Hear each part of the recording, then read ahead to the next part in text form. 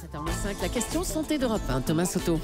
Il y a la médecine, la justice et l'émotion légitime de la famille de Vincent Lambert, aussi légitime quand il s'agit de ses parents que de son épouse Rachel. Bonjour docteur Kirzek. Bonjour Thomas. Ce matin, on ne va pas vous demander de trancher ce qui devient un sujet de société, mais bien votre regard de médecin. Première question, c'est quoi un état végétatif C'est la phase après le coma. Le coma, vous savez, il n'y a pas d'éveil. Il y a une phase après le coma qui est une phase d'éveil, parfois de récupération intégrale hein, des fonctions, et puis parfois un stade malheureusement d'état végétatif. C'est un stade d'éveil. Le patient peut ouvrir les yeux. Il y a éventuellement des mouvements oculaires, mais il n'y a pas euh, de, conscience d'interaction. Donc, par exemple, sur les yeux, il n'y a pas de mouvement de poursuite oculaire. Mm. Et c'est un état qui peut se fixer, qui peut devenir permanent. C'est un état euh, irréversible a priori? Alors, l'état végétatif peut être un état, euh, quand c'est moins de trois mois, il n'est pas irréversible quand c'est plus de trois mois ou plus d'un an pour des patients qui ont un coma d'origine traumatique, on considère que les lésions, alors il faut bien sûr un examen clinique, des examens complémentaires, des IRM, il y a beaucoup d'examens mm. pour déterminer l'évolution et le pronostic, et c'est tout l'enjeu chez ces patients en état végétatif. Il y a un, un mot qu'on entend beaucoup quand on parle de Vincent Lambert, c'est état possi-relationnel. C'est quoi la différence entre l'état végétatif et l'état possi-relationnel C'est un état, j'allais dire, un peu mieux que l'état végétatif, c'est-à-dire qu'il y a un niveau de conscience, c'est ce qu'on appelle aussi un état de conscience minimal. Il y a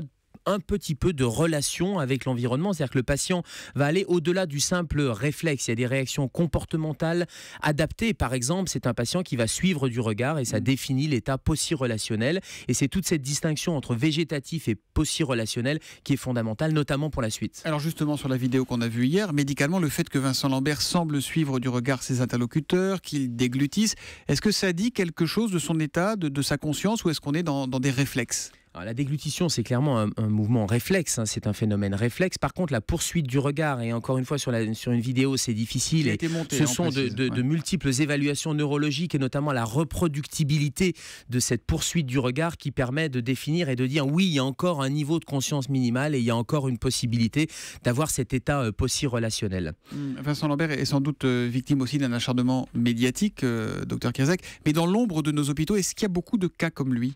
Alors, c'est pas forcément dans l'ombre de nos hôpitaux, parce qu'il y a des services spécialisés. Mm. On estime entre 1500 et 1700 cas.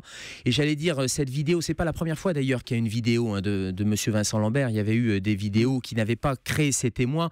Ça permet tout simplement de voir que ce patient, c'est ni un légume, ni un patient en fin de vie, et que la décision est beaucoup plus compliquée. Et ces 1500 ou 1700 patients, j'allais dire, on n'en arrive pas là parce que les familles ne se déchirent pas et euh, les décisions sont prises avant, et notamment grâce à la loi Leonetti qui mm. permet de ne pas s'acharner et que les patients puissent partir d'infection par exemple ou de complications d'embolie pulmonaire. Et euh, en tout cas, les choses se règlent avant. Merci docteur pour ces explications précises. On vous retrouve demain à 7h-5. À noter qu'à 7h45, Rachel Lambert, l'épouse de Vincent Lambert, sera avec nous pour l'interview Vérité d'Europe.